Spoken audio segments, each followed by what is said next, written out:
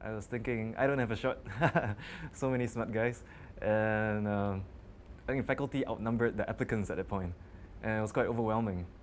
But um, it soon became clear that they, they weren't there to intimidate you, even though it, seemed like that at certain points. They were genuinely interested in seeing uh, how you could contribute to this program, how far you're willing to push yourself to, to, to explore new research directions.